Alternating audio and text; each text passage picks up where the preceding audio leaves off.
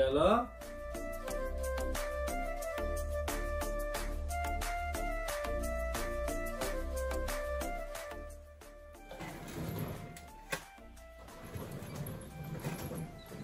বিসমিল্লাহ রহমান রাহিম আসসালামু আলাইকুম। আশা করি সবাই ভালো আছেন। একটু ছোট্ট বিরতি নিয়ে আবারও আপনাদের সাথে ভিডিওগুলো শেয়ার করছি। মাঝে একটু বেশি অসুস্থ হয়ে গিয়েছিলাম। হয়তোবা কথা শুনে বুঝতে পারছেন, আমার ঠান্ডা লেগেছিল, জ্বরও ছিল। তো সব কিছু মিলিয়ে এখন আছি, আলহামদুলিল্লাহ, ভালোই আছি। সকাল হয়ে গেছে আর তাহিদের নাস্তার আয়োজন চলছে। আজকের ওয়েদারটা একটু মেঘলা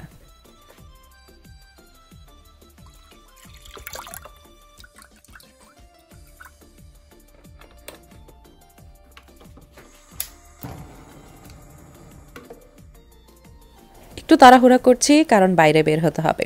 আর তাড়াহুড়ার মধ্যে তাওহিদের সকালের নাস্তা, এটা হচ্ছে বেস্ট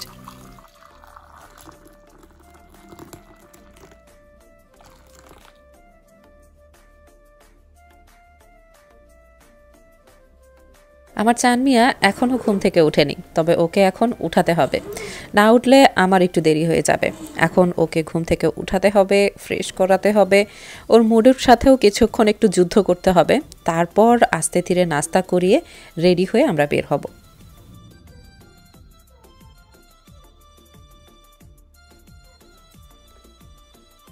তাহিদের নাস্তা করানো শেষ, ওকে রেডি করিয়ে দিচ্ছি। এর আগে আমি রেডি হয়ে নিয়েছি। আর হাতে মোটামুটি একটু সময় আছে তাওহিদের বাবা সকালবেলা কাজে বের হয়েছিল। তো ও কাজ সেরে আসছে এই ফাঁকে আমরাও রেডি হয়ে নিচ্ছি। তাহিদের বাবা চেষ্টা করে ওর হাতে যতটুকুই সময় থাকে আমাদেরকে দিতে, আমাদেরকে একটু বাইরে নিয়ে যেতে, একটু ঘোরাঘুরি করতে। যদিও আজকে সকালবেলা ওর বন্ধ ছিল, তারপরও হঠাৎ করে একটা কাজ পড়ে যাওয়ার কারণে ওকে আবার রেস্টুরেন্টে যেতে হয়েছে। তো সেই কাজ শেষ করতে করতে আনুমানিক প্রায় একটার মতো বেজে গেছে। তারপরও আমাদেরকে বলল যে, সমস্যা নেই, তোমরা রেডি হয়ে বের হও, আমরা একটু বাইরে থেকে হাঁটাহাঁটি বা একটু ঘোরাঘুরি করে আসি। তাহিদের এইটা ভালো লাগবে, হালকা, অল্প একটু সময় বাইরে ঘোরাঘুরি করলেও।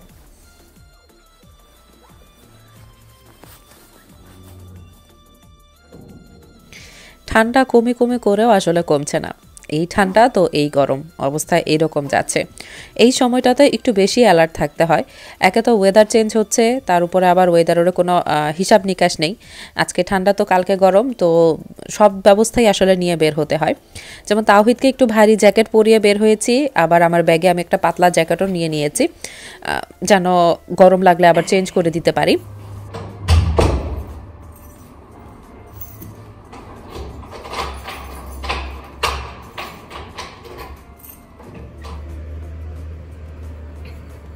মা ছেলে দুইজন বের হয়ে গেছি। তাহিদের বাবা বলল যে, তোমরা ওয়েট করো, আমি আসছি। তো আমরা এবার একটু সামনের দিকে হাঁটা ধরেছিলাম। এর মাঝেই তাহিদের বাবা চলে এসেছে।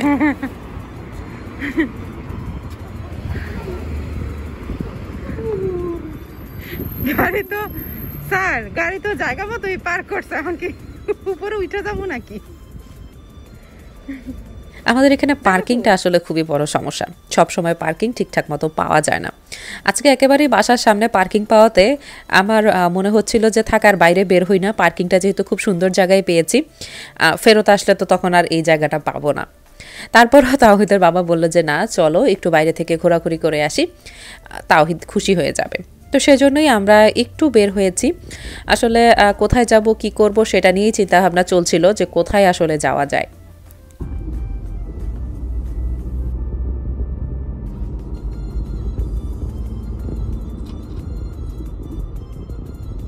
আমার এখনও গাড়িতে ভয় করে। জানি না অনেক দিন ধরেই তো গাড়িতে ঘোরাঘুরি করছি, তারপরও একটা ভয় কাজ করে। তো দেখা যায় যখন তাহিদের বাবা ড্রাইভ করে, তখন আমি কথা কম বলার চেষ্টা করি। মানে যেটা একেবারে না বললেই না দু চার কথা এরকমই বলি একটা না কথা বলতে থাকি না এরকম। আর গাড়িতে তেল নিয়ে নিচ্ছি। আমরা যেদিন গাড়িতে তেল নিয়েছিলাম, সেদিন তেলের দামটা একটু বেশিই ছিল, প্রায় দুই ইউরো ষোলো সেন্টের মতো এরকম ছিল।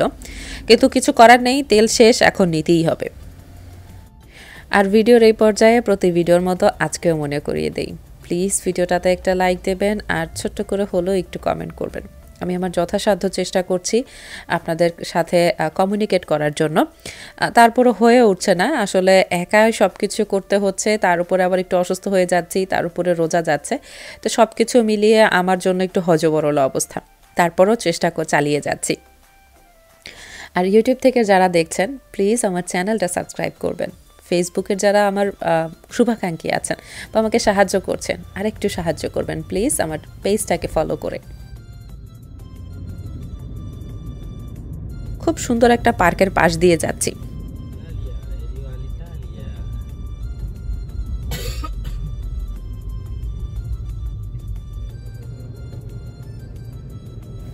হঠাৎ করে ডিসিশন নিলাম যে ওবিআই শোরুম আছে, আমরা সেখানে যাব। এর আগেও একবার গিয়েছিলাম। তখন গিয়েছিলাম আসলে ফার্নিচারের খোঁজ করার জন্য। আমরা বাসার টুকটাক ফার্নিচার চেঞ্জ করব সেটারই দেখতে গিয়েছিলাম। কিন্তু সেখানে আসলে ফার্নিচার টাইপের কিছুই নাই বলা যায়। হালকা অল্প স্বল্প কিছু জিনিসপত্র। তো এগুলোই দেখে এসেছি। আজকে আসলে এমনিতেই একটু ঘোরাঘুরি করতে ঢুকছিলাম। ইকিয়াতে ঢুকলে অনেক সময় লাগতো, তার জন্য আর আইকিয়াতে ঢুকলাম না। তো ওবিআই এটার সামনে পড়ল, ভাবলাম যে এখান থেকেই একটু ঘোরাঘুরি করি, তাও হয়তো একটু গাছ দেখে যাক। আর বেশি সময় আসলে কাটাইনি, মাত্র আধা ঘণ্টার মতো কাটিয়ে আবার বাসায় চলে আসছি। কারণ এরপর তাহিদের বাবার আবার কাজে যেতে হবে, তো ওর হাতেও সময় কম। তো আমরা এই অল্প সময়ের মতো যতটুকু ঘোরাঘুরি করা যায়। আর হ্যাঁ আজকে আপনাদের সাথে আমার যে ঈদের শপিং আছে সেটা শেয়ার করছি।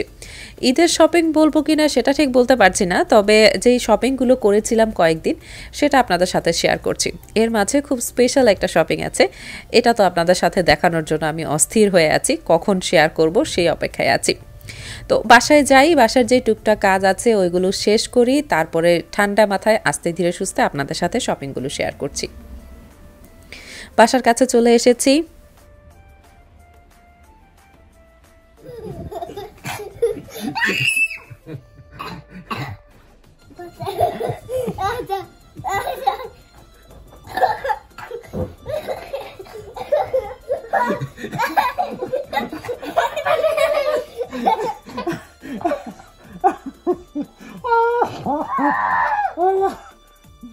বাবা ছেলে দুইজন, অনেকক্ষণ দুষ্টামি করেছে, এরপর তাহিদ ঘুমিয়ে গেছে তাহিদের বাবা কাজে চলে গেছে। তো আমি একটু রেস্ট নিয়ে আবার রান্নাঘরে চলে এসেছি।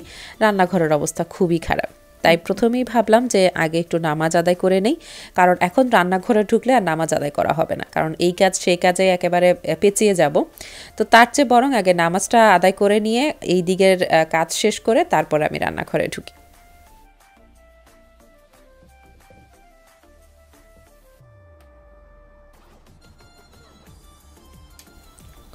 নামাজ আদায় করে ফেলেছি, আলহামদুলিল্লাহ। এবার যে জামা কাপড়গুলো ওয়াশিং মেশিনে ছিল সেগুলো একটু ছড়িয়ে দিচ্ছি।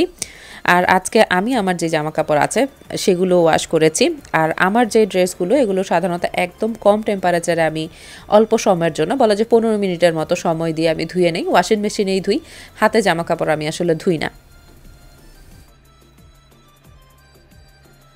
আর আজকে ইফতারের জন্য কিছু অন্যরকম রান্না বা কিছু করার চিন্তা ভাবনা আছে। আজকে আসলে চাচ্ছি না যে এভাবেই বসে থাকব বা আজকে কিছু খাব না একা একা ভালো লাগছে না। আমার চিন্তা ভাবনা হচ্ছে আজকে একটু বিরিয়ানি রান্না করব আর সেটা করছি নতুন পাতিলে প্রথমবারের মতো বিরিয়ানি রান্না। খুব চটজলদি আমি এই বিরিয়ানিটা রান্না করি আমার কাছে খুবই ভালো লাগে অল্প সময়ের মধ্যে মজার বিরিয়ানি হয়ে যায়। আর আমি প্যাকেটের মশলা ব্যবহার করি। প্যানের মধ্যে প্রথমে আমি একটু ঘি নিয়ে নিয়েছি আর একটু তেল মিশিয়ে নিয়েছি।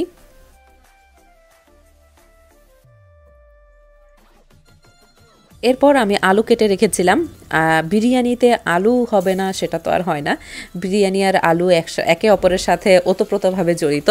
তো প্রথমে আমি আলুটাকে একটু ভেজে নিচ্ছি। আর কেউ চাইলে আলুতে কালারও অ্যাড করতে পারেন। আমরা, আমি আসলে কালার তেমন একটা বেশি অ্যাড করি না কোনো কিছুতে আমার কাছে ভালো লাগে না। নর্মাল যেই কালার থাকে সেটাই ঠিক আছে। রং দেওয়ার কি দরকার? তবে দিলে দেখতে সুন্দর হয়। এটাই হচ্ছে বড় ব্যাপার।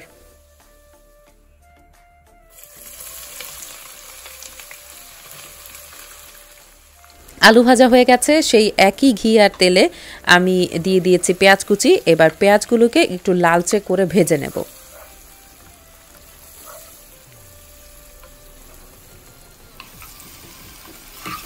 এই ভিডিওটা এডিটিং করতে আমার অনেক কষ্ট হয়েছে। কারণ একের পর এক শুধু হাঁচি আসছিল আর মাথা এত ব্যথা করছিল, চোখ খুলে রাখতে কষ্ট হচ্ছিল। কিন্তু আমি আসলে ভিডিও এতদিন গ্যাপ দিতে চাই না। আর ভালো লাগে না, মনে হয় যেন কী কাজ করিনি, কী কাজ করিনি। তার জন্য একটু কষ্ট করে হলেও আজকের ভিডিওটা আমি রেডি করেছি।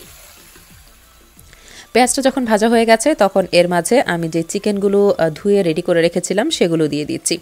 এবার সাথে দিয়ে দিচ্ছি রসুন বাটা। দিয়ে এবার একটু চিকেনটা ভালো করে ভেজে নেব। এই পর্যায়ে চুলার আঁচটা একটু বাড়িয়ে দেব। আবার পুরোপুরি বাড়িয়েও দিব না, যাতে আবার পুড়ে না যায়, যেহেতু এখানে আগে থেকে পেঁয়াজ আছে, সো সেদিকেও খেয়াল রাখতে হবে। তবে চুলার আঁচটা একেবারে কমিয়ে দিলে এখন আবার চিকেনটা পানি ছেড়ে দিত, ড্রাই হয়ে যেত বেশি।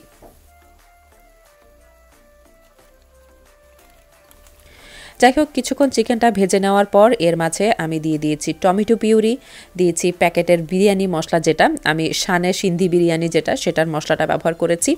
দিয়ে দিয়েছি টক দই এবং সবার শেষে দিয়েছি আদা বাটা। এবার সব কিছু ভালোভাবে নেড়ে চেড়ে মিশিয়ে নিচ্ছি।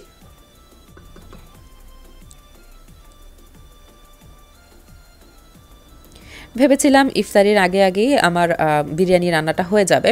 তবে সব কিছু গুছিয়ে রেডি করতে করতেই দেরি হয়ে গেছে। তাই আমার চিন্তা ভাবনা হচ্ছে যাই হোক, আজকে হয়তো বা বিরিয়ানি, ইফতারি আমার ইফতারিতে আমার বিরিয়ানিটা আসলে রিজিকে নেই।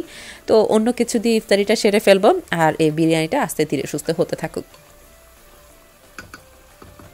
মশলা সব কিছু দেওয়ার পর এবার একটু কষাতে হবে। আর এক্সট্রা কোনো কিছুরই দেওয়ার দরকার নেই।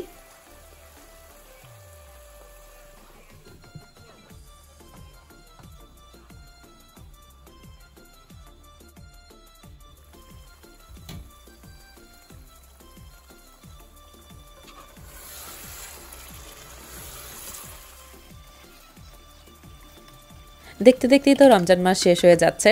একটু খারাপও লাগছে যে এত পবিত্র একটা মাস খুব তাড়াতাড়ি শেষ হয়ে যায়। এটা সবসময়ই মনে হয়, অন্যান্য মাসের তুলনায় এই মাসটা মনে হয় একটু বেশি তাড়াতাড়ি পার হয়ে যায়। রান্নায় ফেরত আসি। চিকেনগুলো ভালো করে কষানো হয়ে গেছে। আমি অল্প একটু পানিও দিয়েছিলাম যেন ভালোভাবে সেদ্ধ হয়ে যায়। এরপর এর মাঝে আমি আলু দিয়ে কিছুটা সময় আরেকটু কষিয়ে নিয়ে এখন আলু আর যে গোস্তগুলো আছে, চিকেনের যে পিসগুলো আছে, সবগুলো উঠিয়ে নিয়েছি। শুধু জাস্ট তেল আর ঝোল রয়ে গেছে। এই তেল ঝোলের মাঝেই আমি আগে থেকেই চাল যেটা ধুয়ে ভিজিয়ে রেখেছিলাম, সেটা দিয়ে দিচ্ছি। এরপর এই ঝোলের সাথেই আমি ভালোভাবে চালটা নেড়ে চেড়ে মিশিয়ে নেব। কারণ আমি আজকে আর ওই আলাদাভাবে চালটা রেডি করে তারপরে বিরিয়ানি রান্নাটা করছি না। আমি একসাথেই সব কিছু রান্না করে ফেলব। আর গোস্তটা উঠিয়ে নেওয়ার কারণ হচ্ছে এইভাবে আমি নাড়তে চাড়তে সুবিধা হবে। যদি গোস্তগুলো থাকতো তাহলে নাড়াচাড়া করা যেত, তবে ভেঙে যেত। তো এর চেয়ে ভালো আগে থেকে আমি উঠিয়ে নিয়ে এবার তেলে ঝোলে ভালো করে নেড়ে চেড়ে মিশিয়ে তারপরে আবার গোস্তগুলো দিয়ে দেবো।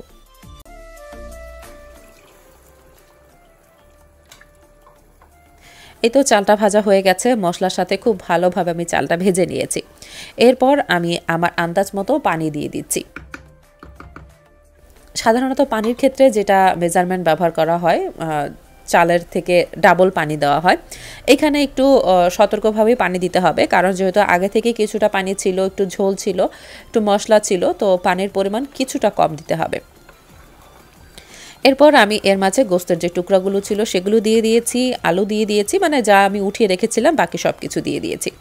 কিছুটা সময় নাড়াচাড়া করার পর এর মাঝে আমি লেবু টুকরা করে কেটে দিয়েছি। একদম পাতলা পাতলা স্লাইস করে দিয়ে দিয়েছি। বাসায় আলু বোখারা শেষ হয়ে গেছে, নয়তো সেটাও আমি অ্যাড করতাম। আমার কাছে আলু বোখারা খেতে খুবই ভালো লাগে।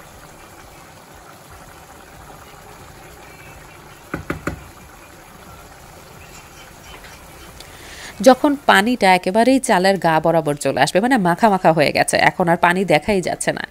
এই অবস্থায় আমি একটু দমে বসিয়ে রাখব। যদি নিচে কোনো ফ্রাই প্যান দিয়ে বা নিচে আরেকটা কিছু দিয়ে চুলায় বসিয়ে দেওয়া যায়, তাহলেই ভালো হয়। নিচে দিয়ে আর পোড়া লাগার কোনো ভয় থাকে না। আর নয়তো এমনিতেও একদম চুলার আঁচটা কমিয়ে দেখে, একদম নামে মাত্র আঁচ রেখে আমি চুলায় বসিয়ে দিয়েছি এবং ঢাকনার ছিদ্রটাও বন্ধ করে দিয়েছি যেন বাতাসটা বের হয়ে যেতে না পারে।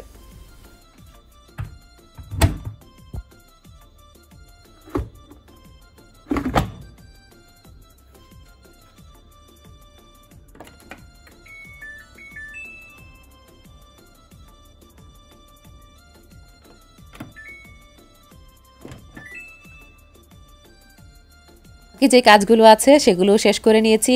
আমি মেশিনে জামা কাপড় দিয়ে দিয়েছি আরেক দফা, সেটা পরিষ্কার হতে থাকুক, রান্নাও হতে থাকুক। এর মাঝে আপনাদের সাথে কিছু গোল্ড কালেকশন শেয়ার করে আসি, যেগুলো আমি এই সব থেকে আমি আসলে গোল্ড কিনেছি, সেটা আপনাদের সাথে শেয়ার করব। তবে তার আগে কিছু গোল্ড কালেকশন আপনাদের সাথে শেয়ার করি।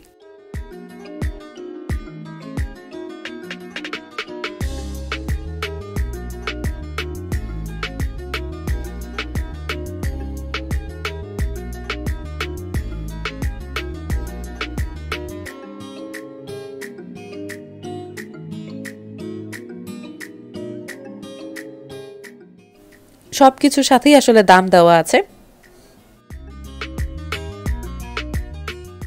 এই ব্রেসলেটগুলো আমার কাছে খুবই ভালো লেগেছে। সবগুলো না, কিছু কিছু ব্রেসলেট আমার কাছে খুবই ভালো লেগেছে। পাতার একটা ব্রেসলেট আছে, এই ব্রেসলেটটা আমার কাছে খুবই পছন্দ হয়েছে। ইতালিতে স্বর্ণ পাওয়া যায়। পাওয়া যায় না, গোল্ডের দোকান নেই, তা না। তবে আমি যতটুকু জানি যে গোল্ড আসলে অত আমাদের দেশে যেরকম বাইশ ক্যারেটের পর্যন্ত গোল্ড পাওয়া যায়, এইখানে অতটা ভালো মানের গোল্ড না। এগুলো সম্ভবত আমি আগে যতটুকু জানতাম আঠারো ক্যারেটের। পরে তাহিদের বাবা বলল যে, না, এগুলো ষোলো ক্যারেটের, এইরকম। তো যাই হোক, আমরা বাঙালিদের ধ্যান ধারণা বা আমাদের চিন্তাভাবনা যেটা, যে গোল্ড হচ্ছে সঞ্চয় করে রাখার মতো, বা ব্যাংকে টাকা না রেখে তুমি সেখান থেকে গোল্ড কিনেও রাখতে পারো, সেটাও তোমার একটা জমা বা সঞ্চয় হিসাবে থাকবে। কিন্তু এখানের যে গোল্ড এগুলো এগুলো আসলে সঞ্চয়ের জন্য না, এগুলো জাস্ট কিনলাম, ব্যবহার করলাম, এরকম আর কি। কিন্তু ডিজাইনগুলো ভালোই লাগল। এর আগে কখনো গোল্ডের দোকানে আমার ঢোকা হয়নি বা ইতালিতে কোনো গোল্ডও কেনা হয়নি। এই ফার্স্ট আমি গোল্ড কিনেছি বা দোকানে ঢুকে একটু দেখলাম ডিজাইনগুলো আমার কাছে ভালোই লেগেছে। এবার আপনাদের সাথে শেয়ার করি যে আমি কি কিনেছি গোল্ডের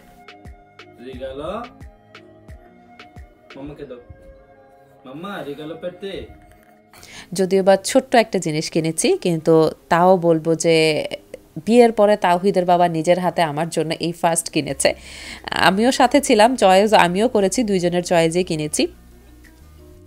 আমি এই শোরুম থেকে গোল্ড কিনেছি। এখানে আমার কানের দুল আমি হারিয়ে ফেলেছিলাম। তো যার কারণে আমার কান এখন খালি, যেটা আমার কাছে ভালো লাগে না। তো তাহিদের বাবা বলল যে, এই কানের টপগুলো খুব সুন্দর। আমার কাছেও ভালো লেগেছে, ছোট ছোট। খুবই ভালোই লেগেছে আসলে। এত বড় আমি পরি না। আমার কাছে সিম্পল যেগুলো, ওগুলোই ভালো লাগে। এখানে বড় একটা স্টোন আছে, উপরে ছোট ছোট, একদম ছোট ছোট চারটা স্টোন আছে। খুবই ভালো লেগেছে আমার কাছে। এরপর শেয়ার করি যে জামা কাপড় আসলে কিনেছি।